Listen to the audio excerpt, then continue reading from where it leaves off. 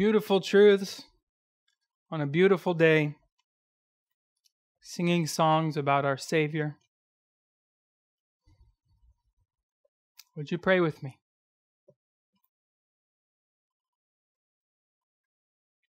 Father, pray that you would help me to focus, to accurately and faithfully communicate your word to your people. Lord, that you would let me preach Christ. You would be honored. That we would be changed. Holy Spirit, have your perfect work in and through me and through your people. In Christ's name we pray. Amen. The title of the message this afternoon is called Living the Resurrection. Living the Resurrection. The resurrection has significant implications for our day to day life. It is not just merely something that we look forward to or something that we look back on, but it is something that should that should hold our thoughts and our actions and our words every moment of every day. Turn with me, if you would, to Philippians chapter 3. Philippians chapter 3.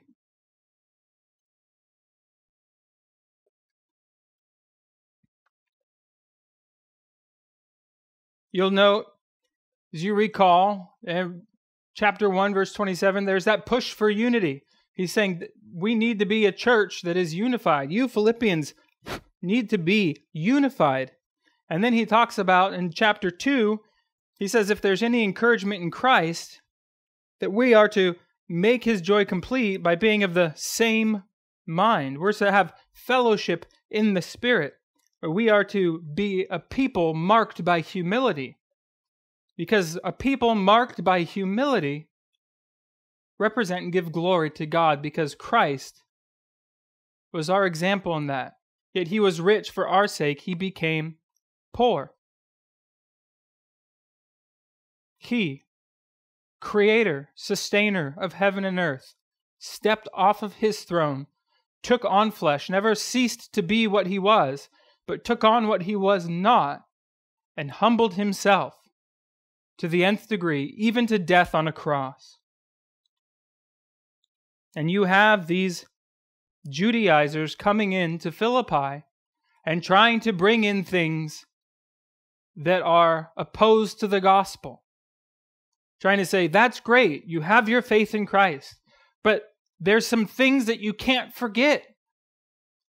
You have to abstain from certain foods. You can't eat certain foods. There's some some things you have to do. You'll have to be circumcised. You have to proselytize yourself into Judaism and then travel through Judaism into Christianity.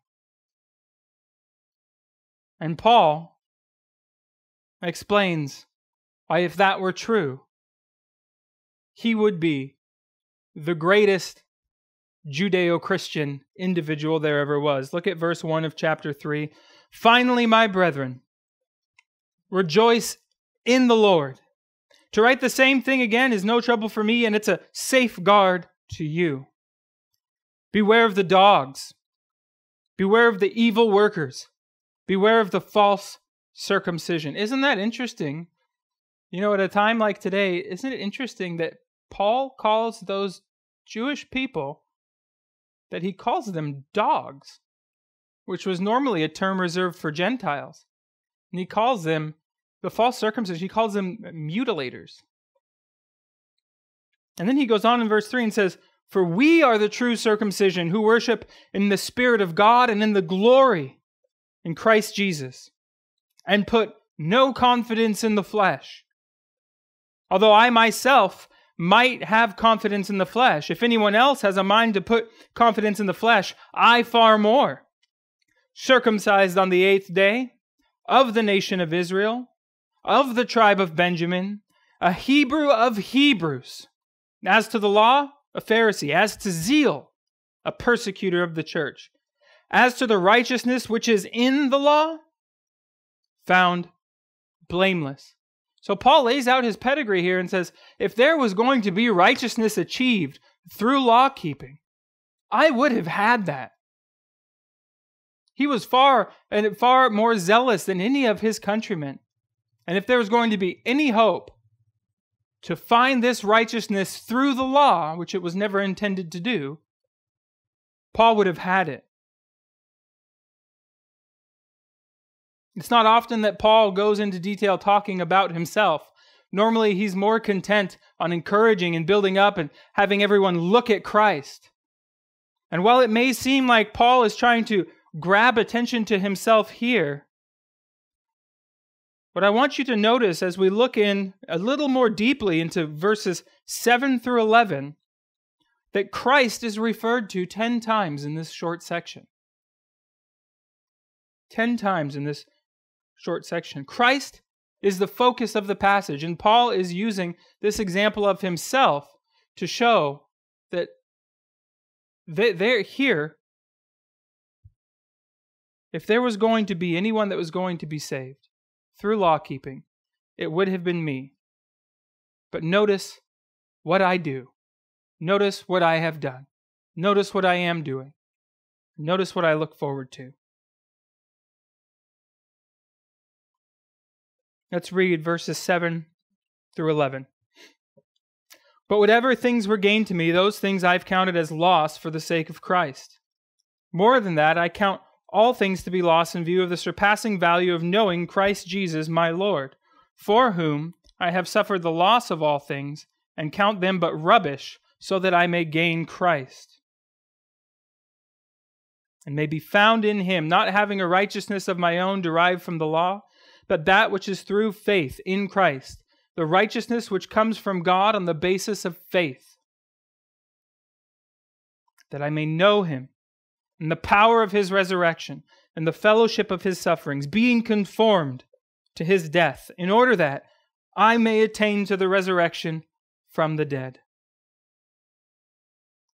let's just walk through phrase by phrase as I want to point some of these glorious truths out to you.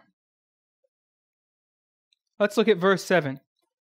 He says, he starts with this strong contrast, but he's contrasting what he's just stated the confidence in the flesh that he would have had. If there was righteousness to be found in the law, he would have been blameless.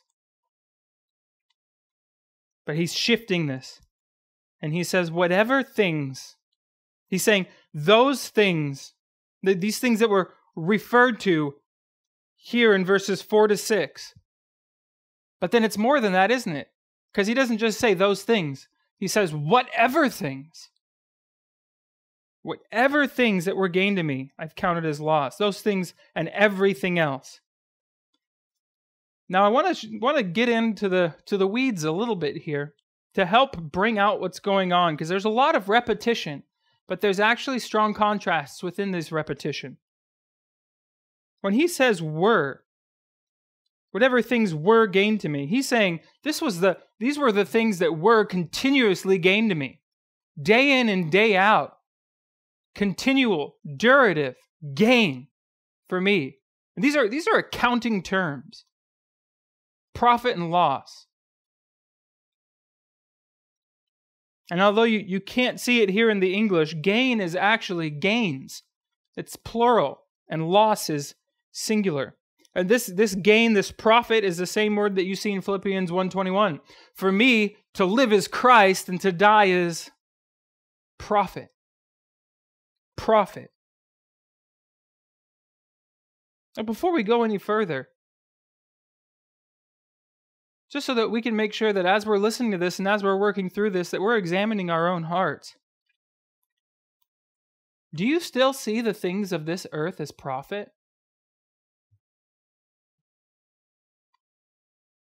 Are you putting your hope, maybe not necessarily for salvation, but for your day to day? Are you putting those things in things of the earth? Or is, is death your profit? Not in some sadistic way where you're going to try to commit suicide or anything like that, but but that you know that when death comes, it's glory. That you're so heavenly minded that you think this is profit. This is what I long for. Oh, death, where is your sting? Death has been swallowed up in victory by Christ Jesus. So if I'm going to live, I'm going to live for Christ. And if I'm going to die, I'm going to be with Christ from faith to sight. And so, what is there that can separate me from the love of Christ? Therefore, I will press on all the more and live for Him. Nevertheless, Paul says, whatever things that were continually a gain to me, those things that were advantages of mine, those things, those things that were profits, I have counted as loss for the sake of Christ. Now, you remember on Friday we, we got a little nerdy and we talked about the perfect verb, the perfective aspect, an action that happened in the past but effects are continuing up until the present. And that's the way Paul is using that here. I have counted. He's given careful consideration at that time and saying that those effects still continue. Now, Paul's talking about his conversion here. He's talking about something that happened in the past. This is 30 years ago now. And he says that they were loss. So, all the profits, all those things, P R O F I T S, not those who foretell, but gains, increases, profit and loss, accounting terms, all of those things that he thought were advantageous to him are actually harmful. They're hindrances. Look with me in Acts 27 18. Acts 27 18. Paul, is on the ship. He's about to be shipwrecked. Acts 27:18 The next day as we were being violently storm-tossed they began to jettison the cargo. And on the third day they threw the ship's tackle overboard with their own hands since neither sun nor stars appeared for many days and no small storm was assailing us. From then on all hope of our being saved was gradually abandoned.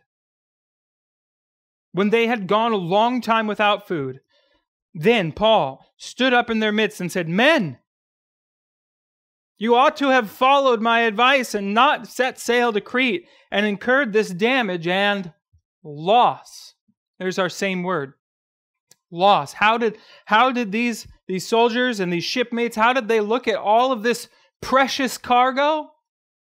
Well, they abandoned it. They abandoned it all so that they might at least have the opportunity to escape with their lives. And that's what Paul is talking about here. All that was considered a profit is actually really a loss. Paul envisions himself as, as a man of business, as, as an accountant. And what he's doing here is he's opening up the ledger of his life before the Philippians. And he's looking through, and it's as if all of his life was was in the black. I mean, we know what that means. Black Friday. Black Friday is called Black Friday because that's when companies go into the black, from the red to the black. That's when they make a profit. And so Paul, the accountant, opens up the ledger of his life and he's looking and he's pleased with all the black, all the profit, and increasing ever more in his profit, more than all of his colleagues. And then something happens. And then, as he's increasing that profit on the road to Damascus, something happens, doesn't it? Saul, Saul, why are you persecuting me? And you remember, Saul loses his sight. Saul loses his sight. He was blinded and then he was saved. And Jesus gives Paul his vision back. And so, what does Paul do? He, well, he pulls out the same ledger and he opens it up and he realizes he was colorblind. That whole time when he was adding into the, the black, adding into the profit, it was in the wrong column and it was all red and it was all loss. It was all damaging to him. He was infinitely deep in the red, infinitely deep in debt. In fact, worse than just being a loss, the idea behind this word elicits great harm. So you could say at any moment, the great creditor, God, could call in his debts, and Paul would have been intern- eternally ruined, completely undone. So Paul declares bankruptcy, sells himself to Christ for a profit, for a gain. You know Matthew 16, 26. Verse 25 or 24 If anyone wishes to come after me, he must deny himself, take up his cross, and follow me. For whoever wishes to save his life will lose it, but whoever loses his life for my sake will find it. For what will it profit? Now, that word profit is probably better rendered benefit. What will it benefit a man if he gains? That's our same word here. If he profits, is another, it's the accounting term. What will it benefit a man if he profits, gains? The whole world. He's got the whole world in his ledger, in the black. But he forfeits. It's our same word for loss. He loses his soul. You see, the earthly ledger book and God's ledger book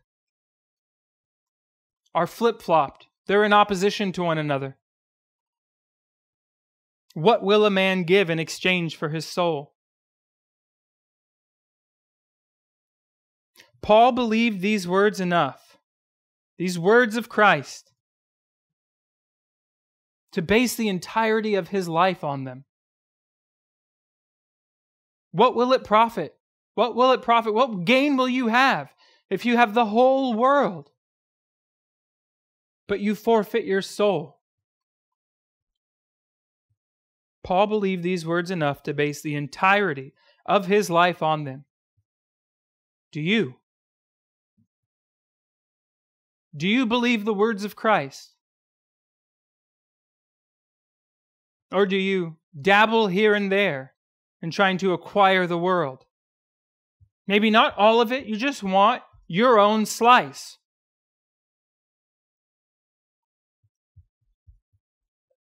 Well, Paul continues in verse 7. He says, well, What is the reason why Paul would do this? What is the reason why? He would say, All of those things that were gains to me, I've counted as harmful loss. Oh, for the sake of Christ. Literally, because of Christ. It is Christ. This is the motivation behind the major shift in what Paul considered valuable in his life. Well, what do you mean, Paul? Aren't you, Paul, aren't you being a, a bit dramatic? I mean, those are good things. Those are good things that you were doing. Those were good things that you had. I mean, I mean, aside from, you know, killing people and persecuting the church in that regard, that wasn't good. But but all of the other stuff, it's not bad stuff. God blessed you with those things, Paul. Those were God's gifts to you. You shouldn't give them up. Well, let's see how Paul elaborates on this statement in the following verses. Let's look at verse 8 together. More than that. This is, this is a unique phrase only used a handful of times in the New Testament. What Paul's doing is he's, he's ramping things up with this emphatic reinforcement of his previous statement. Paul's doubling down. And then every phrase that Paul is using in this short section of Philippians is pregnant with significance. He says, I count all things to be loss in view of the surpassing value of knowing Christ Jesus, my Lord. Now, Paul, is the question is Paul, your, your conversion was 30 years ago. We know that you had a dramatic life change, okay? That's obvious. But what we want to know is do you still have that same commitment? If you could go back and change anything, Paul, what would you do? Would you change it? I mean, Paul, you had status. You had the job you wanted. You had fame, you had popularity, uh, you had money, you had all of those things that go with it too. At what cost did you lose it? You've been disowned by your family, disowned by your entire community. Wouldn't you at least like to have kept some of it? Wouldn't have been useful? It would have been useful for ministry, wouldn't it, Paul? Was it really all loss? I mean, Paul, look at you. You don't look good. You're working more hours for a lot less pay. Is it worth it? Well, you'll notice in verse 7, he says, I have counted. And that was happening in the past. And he's saying it's still continuing up to the present. And when he doubles down here in verse 8, he say, I count. This is present. I am still counting all things. So more than even I was before when I first did that. I am counting all things. And he's, he's increased now. It's not just whatever, it's everything. Everything is a loss. Paul doubles down and reinforces his views. I considered it all loss then, and I still continue to consider it all harmful. Paul moves from his focus in the past and his use of whatever. I have counted whatever. I presently count all things. We need to see that. Because Paul, when he's surveying the past life that he's lived in service to Christ, there was no other place he would rather be than what he is doing for Christ, other than in his presence, because to die is gain. Paul's saying here, this was no impulsive act. I counted the cost of discipleship. And you know what? I chose the right path. Paul's initial commitment to Christ has only deepened with time. Because notice how he increases his argument. Because in the verse 7, he says, Because of Christ. Now in verse 8, he says, It's all loss in view of the surpassing value of knowing Christ Jesus, my Lord. All things, anything that even in the slightest hindered Paul's pursuit of Christ, anything that hindered his prayers, anything that hindered his meditating on the word, anything that hindered his love for and fellowshipping with the saints, the church, anything that hindered his love for God, anything that hindered his love for others, anything that hindered his holiness, and the list goes on and on and on. All things and the surpassing value of knowing Christ Jesus. And we know that this knowing isn't just this mere intellectual knowledge. He's not just saying there's a box that has to be checked. Yeah, I met that guy. Yeah, I got his autograph. He signed my t shirt. I'm good to go. No, knowing Christ is salvation. Knowing Christ is salvation. This is relationship. Paul pulls out his scale and he's placed Christ on one side and literally everything else on the other side.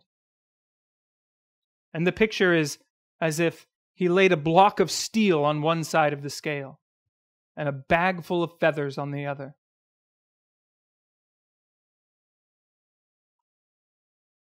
This knowledge is not in the way in which you and I know Bill Gates or Warren Buffett.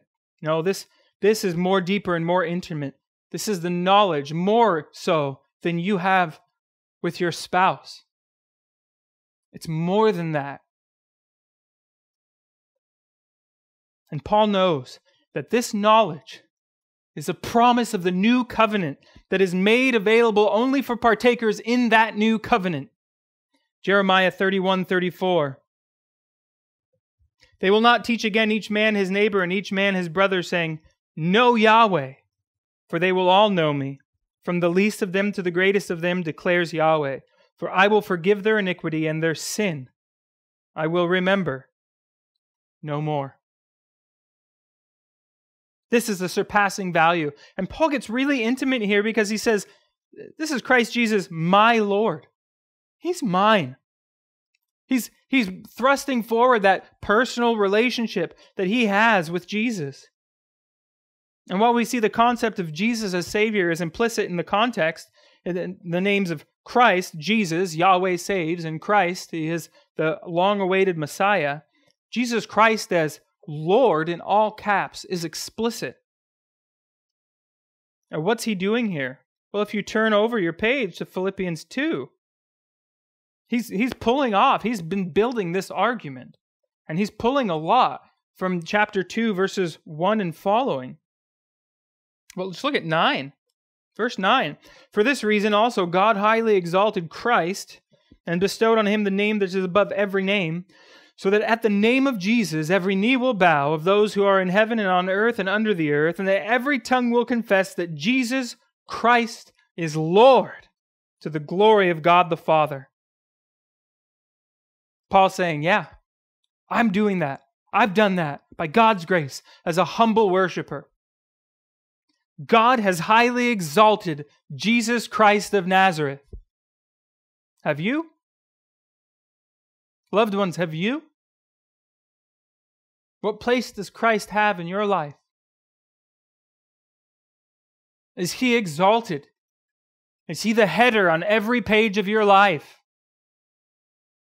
Or is he some end note tucked far away? You can find him if you need to. to Christ. No one comes into con- contact with Christ and is not changed. For some, he is an aroma of life to life, and for others, from death to death. But this one scene that all of us will be present, all of us who are here on Zoom right now and, and who will hear the words of my voice over the internet, all of us will all be present together and we will all bow the knee, and we will all hear the whole of creation cry out, Jesus Christ is Lord. But the question is, will you do it out of love as a humble worshiper, like Paul is doing here? Tears filling your eyes, oh, my Lord and my God, like Thomas said. Or will you do it as a conquered enemy? gritting through your teeth, as it were. At times like these, we read these passages and it's easy for us to brush over them, but is Christ really Lord of your life? I mean, what, that, that means that you're a slave. This is a master slave relationship here. Do you really submit your life to Him? Not begrudgingly, but out of the joy of your heart because you know that He cares for you. Paul takes intense personal comfort and security in this fact that Christ is his Lord. Do you? Now, for him to be Lord of your life means that he is supreme over your will, supreme over your affections, supreme over your desires. Do you submit all of those things to Christ Jesus? Or do you harbor just a little bit for yourself?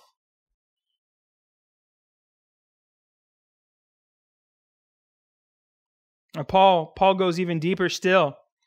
There's, there's a deep affection and a rich devotion here in Paul's words. And notice what he says. Chapter 3, let's continue. He says, My Lord, for whom I have suffered the loss of all things.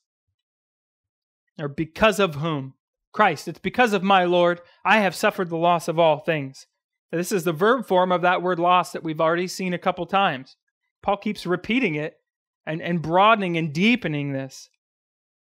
Paul's looking back to his conversion and the time surrounding it to advance his argument uh, one more time. You know, Paul lost his good name. Paul lost a, cush job.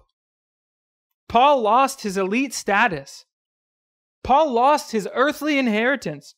Paul lost his friends. Paul lost his comfortable lifestyle. Paul lost his physical and financial security. Paul forfeited everything. Everything. he goes even further and he says, and count them but rubbish. And again, this is a verb, this is in the present. And I am counting it. Day after day, whenever I think of that, rubbish, garbage.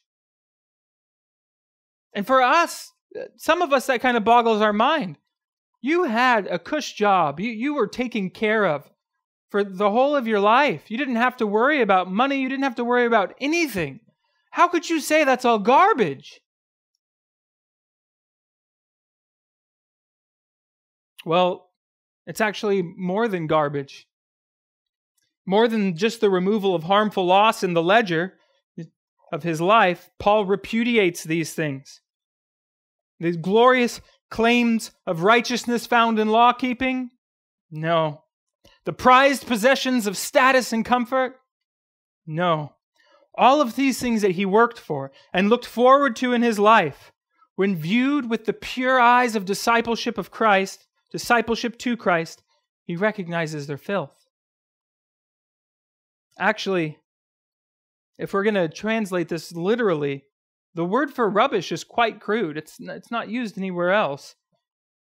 Uh, lexically, it would read, it's all crap. It's a strong word. A crude and emphatic way of expressing human excrement. And he says all of that is filth. So that I may gain Christ. So that I may gain, so that I may profit Christ. Paul consistently sees all of these former profits as rotten table scraps at best in comparison with the continuous all satisfying feast that is Christ Jesus, his Lord. And we have to pause and we have to consider in our own lives how, loved ones, how do you leverage your life for Christ? How do you leverage your life for Christ?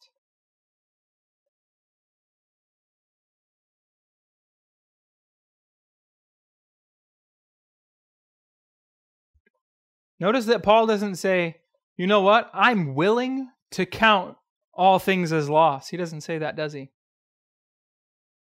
He says, I have counted all things as loss, and I do count all things as loss. This isn't hypothetical for Paul, and it shouldn't be for us either. It's all worse than loss, it's unspeakable filth. Paul takes all of that stuff that maybe some of you look forward to and you prize, the things that Paul had. He takes them and he flushes them down the toilet. J.I. Packer explains this truth memorably. And I quote When Paul says he counts the things he lost rubbish or dung, he means not merely that he does not think of them of having any value, but also that he does not live with them constantly in his mind.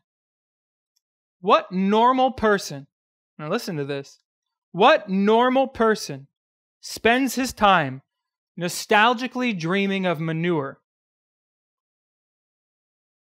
Yet, this, in effect, is what many of us do.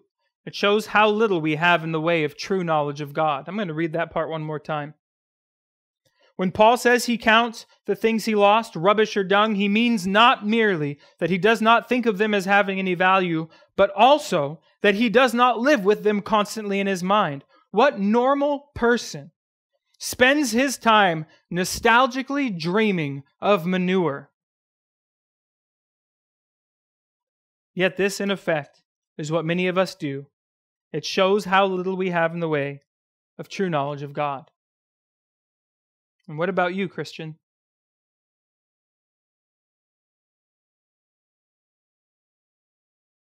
What about you?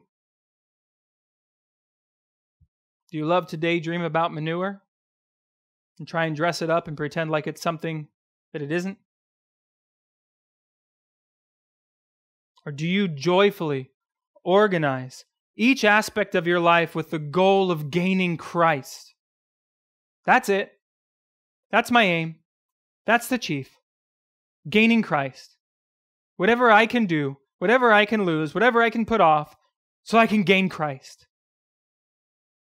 And I'm not talking about in this, this monk kind of fashion that we have in America, not this American monk fashion where you organize your time around your individual quiet time. No, no, that is not biblical Christianity. That is glorified selfishness. Is your life organized to promote communion with God, fellowship with God's people around God's word, ministering to the saints, seeing Christ grow in them, and reaching out to the world to call the elect to Christ? If this is your life, praise God. Press on still more.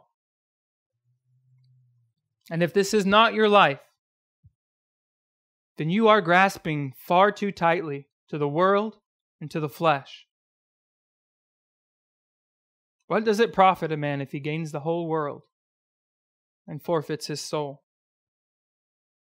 Or consider what Paul says in Galatians 6.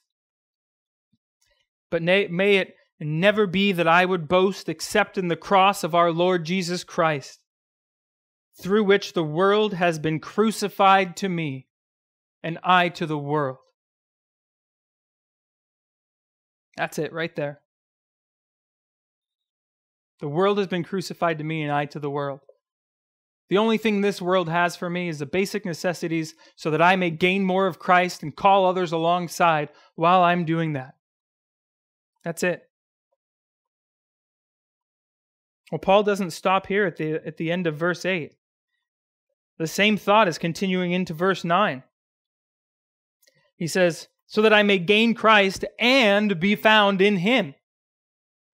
Just as Christ was found in human form, as Paul explains in chapter 2, Paul wants to be found in Christ. Paul wanted Christ at his conversion. Paul wants Christ now. And Paul wants Christ on that day in the future. I want to be found in him, he says, not having a righteousness of my own derived from the law. Paul doesn't trust any former manner of his law keeping, nor does he trust in his considering all things as lost. It is all manure. He doesn't want anything like that because he knows that it's not a true righteousness. And he says, This is what I want. But that, that righteousness, which is through faith in Christ, the righteousness which comes from God on the basis of faith, all Paul's hope, all of Paul's righteousness comes from Christ and is found in Christ. He, just like they threw all the cargo off the ship in Acts 27, Paul jettisons everything in his life except for Christ and his righteousness. You know what this is, friends? This is nothing less than justification by faith alone. Justification by faith alone. Although the term repentance is not used here, it is illustrated vividly. He's casting off his former manner of life so that he might have Christ. We, we see 2 Corinthians 5.21. God made Christ, who knew no sin, to be sin on our behalf so that we might become the righteousness of God in him. You see that great exchange. He takes our sin, we take his righteousness. Paul is saying, This is it. This is life. The righteousness is on the basis of faith. Now, this is important. You need to recognize that the object of your faith will be the basis of your righteousness. Yes, he says here, through faith in Christ, the righteousness which comes from God on the basis of faith. But the object of that faith will be the basis of your righteousness. If you are trusting in your works and you're saying, well, you know, I'm a good person, you may be from your own standard. But, friends, none of us are from God's standard. And he's not going to ask us, you know, how would you like to judge yourself this day? He's going to judge us according to his word. according to the law. Who can stand on that day? None of us. If we have sinned, we will have an eternity in hell. Because think about it the one whom you sin against increases the penalty. If I, if I got in a fight outside of my house with my neighbor, that's one crime.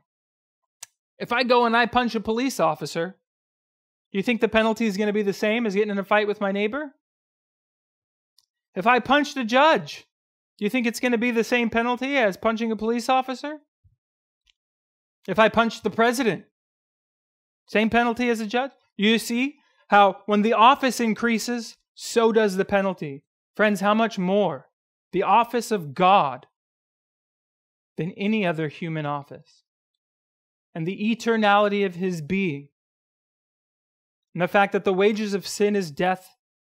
And if you die without Christ, you will continue to sin, even in hell. This is a glorious day because this is the day when the gates of heaven have been flown wide open and God is pouring out his mercy on the earth so that you, you, yes, you can have this same righteousness that Paul is talking about here. And he says that how to get it right here, too. It's faith in Christ. You have to repudiate all your old works. You have to repudiate all the things that you trusted in. And you have to grab hold of Christ. Now, you have to grab hold of Christ with open hands. You can't be taking your things with you. There's so much of Christ to grab. And the beautiful thing is, when you come to Him in faith, turning from your sin, He's actually grabbing hold of you. And though you may fail and though you may stumble, if he's truly grasped you, you will not fall away. And for you, Christian, I encourage you at this point right now, where you're seated, to examine yourself. How do I know if I'm having a righteousness of my own or this righteousness that comes from God? Well, let's let's diagnose that. Do you live as if your acceptance before God depends on your obedience? Do you live as if your acceptance before God depends on your obedience? This is trusting in yourself for righteousness. This is law keeping. This is not the righteousness that is found through faith in Christ. Do you have a tendency in your heart to look down on less obedient believers? Do you have a tendency in your heart to look down on less obedient believers? This is pride based upon trusting yourself for your righteousness. This is pride based upon trusting in yourself for your righteousness. Do you constantly see your sinfulness and question your standing before God, wondering if He can accept you in light of your sinfulness? This is trusting in yourself for righteousness. All of those things are trusting in yourself for your righteousness, not the righteousness that comes by faith in Christ. The object of your faith will be the ground of your righteousness. And if you are trusting in yourself, you, you have no ground. You need to jettison that immediately. You must taste the sufficiency of Christ and be satisfied in Him. You must grasp hold of Christ and be satisfied in Him. And then ask yourself this question Is Christ's work sufficient? Is Christ's work sufficient? Do his works of a perfect life, sacrificial death and death and, and living resurrection, resurrection do, do these things waver? Do his works ever waver? No. Then why should your faith waver? Is not Jesus Christ the same yesterday, today, and forever? So then why should your faith change? Because the object of your faith holds fast. And so we too must hold fast. And when you sin, ask yourself this question Is Christ still seated? When you sin, is Christ still seated? Well, friend, if you're in Christ, that sin is forgiven. You just call out to Him and ask Him to forgive you. And if you are in Christ, you will be forgiven because His work is still effectual. He gave the once for all sacrifice. He's not getting up and down, getting up and down. He sat down at the right hand of the Father. It's done. It's finished. It's over. What we should have is, as we're looking to our justification, that process of being free from sin and being perfectly righteous, having that credited onto our account, that legal declaration of not guilty and perfectly righteous. Looking to our justification should push us toward deeper love, deeper fellowship with Christ, deeper fellowship and love for his body, because the two cannot be separated. His body, the church. Well, friends, we're in luck because Paul does not stop here. As beautiful and as glorious as justification is, notice that Paul moves now towards sanctification. Sanctification. Look at verse 10. He says, That which is through faith in Christ, the righteousness which comes from God on the basis of faith, that I may know him and the power of his resurrection and the fellowship of his sufferings, being conformed to his death Oh, you hear the cry of that heart that I may know him. That I may know him. Paul's rallying back to that surpassing value of knowing Christ and building on that thought by showing his desire and goal to pursue an even deeper relationship with Christ. Do you see where Paul is saying, I'm not content? I'm not content I'm content with the decision that I made 30 years ago and jettisoning all of that. But I'm never content day after day. I must have more of Christ. In that sense, he's not content. You might say a better word would be complacent.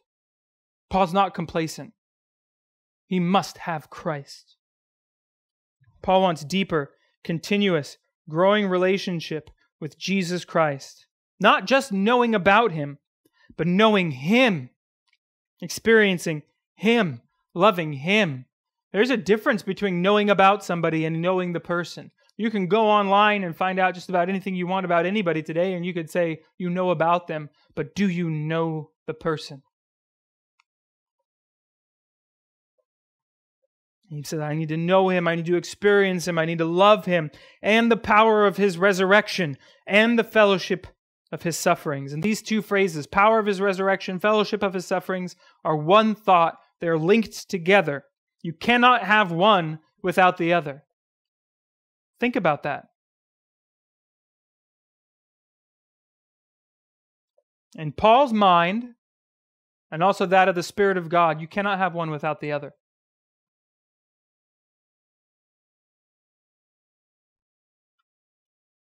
What is the power of his resurrection? What is this? Sanctification. Sanctification. Turn with me to Romans chapter 6.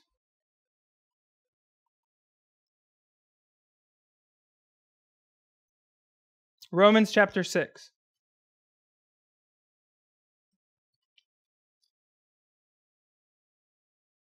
Now let's look let's look at verse 4. He talks about we being baptized into Christ Jesus, we've been baptized into his death. Therefore, we have been buried with him. And if you guys recall, we, we discussed this passage last Easter.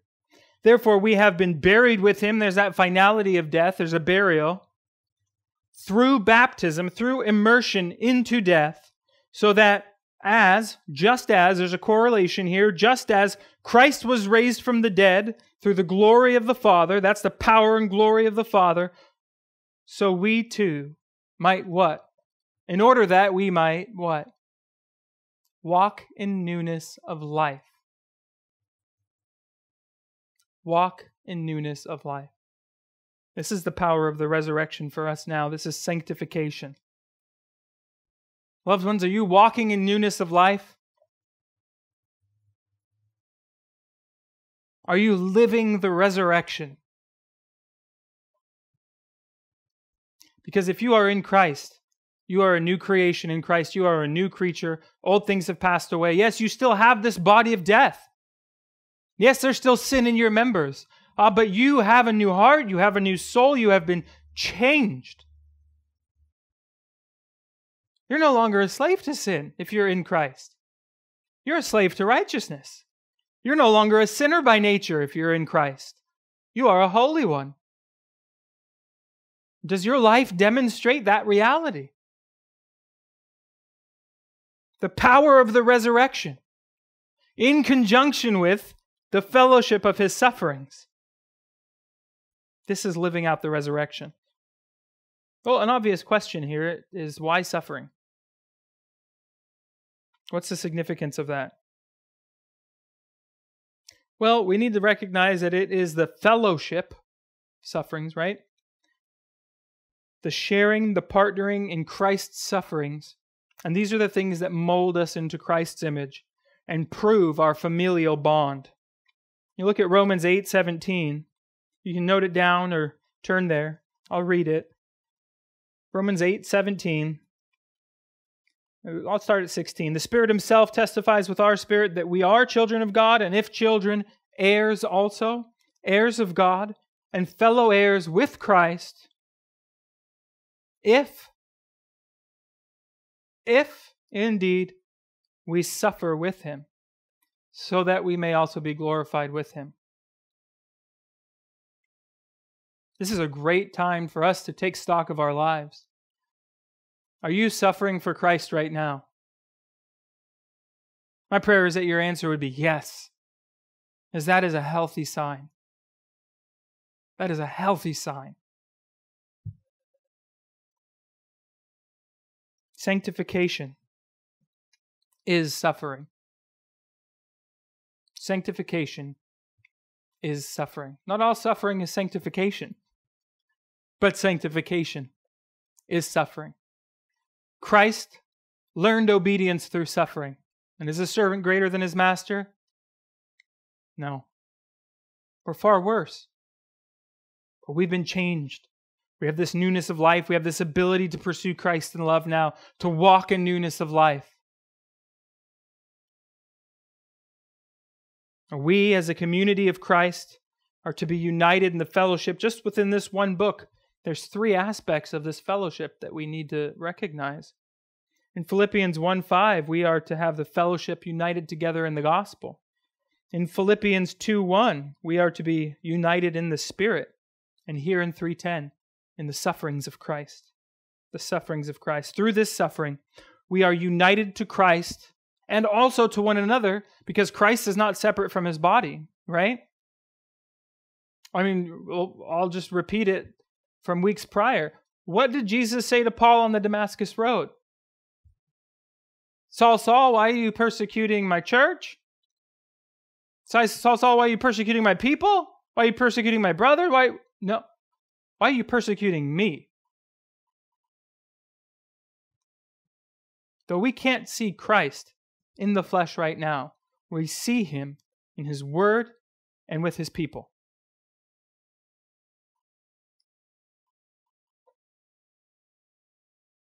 Through this suffering, we're united to Christ and to one another, not, not participating in Christ's once for all sacrifice. That is not what's in view here. But being conformed into his image. Being conformed into his image. Being conformed, as the text says, to his death. Paul's goal was to be like Christ. Christ died to free us from sin and its power. And so we too need to keep our aim to die to sin and to live to righteousness. We're not adding to Christ's once for all sacrifice, but we're living out the implications of it. Our life is not our own. As Paul says in Galatians 2:20, I have been crucified with Christ, and it is no longer I who live, but Christ lives in me. And the life which I now live in the flesh, I live by faith in the Son of God who loved me and gave himself up for me. We are to live for God, for Christ, and for others. Guys, our, our, our lives must be marked by a focus on the glory of Christ and His work as we seek to love God and love others, cultivating a life of discipleship. What we've been looking at, Paul looks back at the justifying work of Christ that's applied by faith as the ground on which he's to be found in Christ. Not because of anything that he's done, all because of what Christ has done. And then he says here that, that his desire to grow in a relationship with Christ and his body is the means of sanctification. So you have justification as the basis, sanctification as what Paul is working out by the grace of God and the power of the Spirit. And let's look at verse 11. Paul keeps before him glorification. All of this, and I wish we had time to go deeper and deeper still into this because this is a beautiful passage of Scripture. But let's just look at verse 11. He says, "And the resur- that I may know him, the power of his resurrection, and fellowship of his sufferings." Remember, that's one complete thought. Being conformed to his death, in order that I may attain to the resurrection from the dead. Paul recognized a direct link between our conformity to Christ's death in our lives and being raised with Christ on that last day. You can't miss that. You're not going to have one without the other. If we are not dying daily with Christ today, we should not expect to be raised with him tomorrow.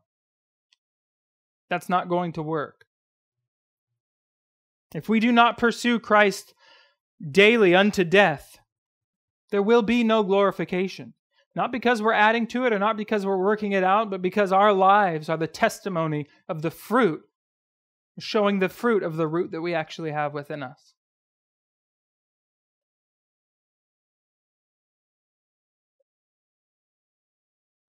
So, with that in mind, I have another question for you.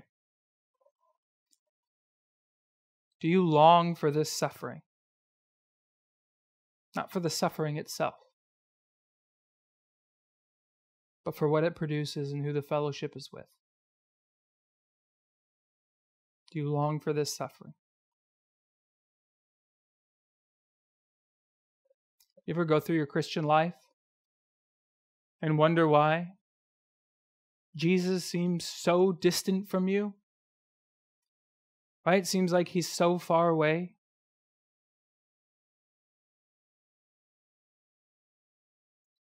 Maybe it's because Christ has traveled the road of suffering.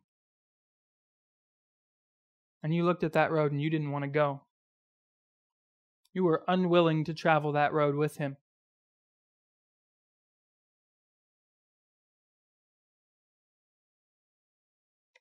And what does that tell you about yourself? You desire comfort more than Christ.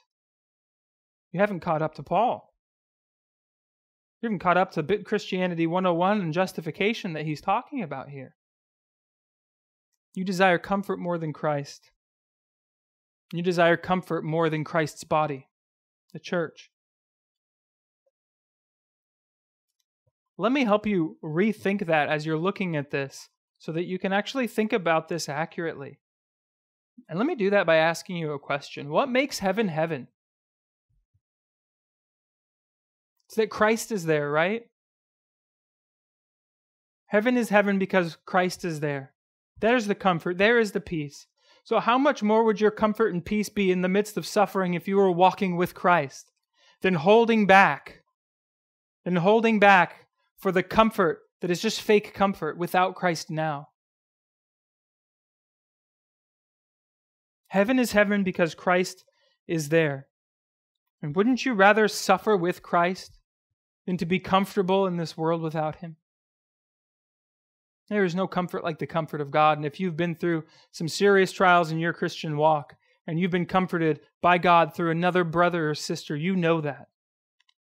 You know that. And even those worst times of suffering, but suffering in Christ and for righteousness, are far better than all the empty shadows of this earth.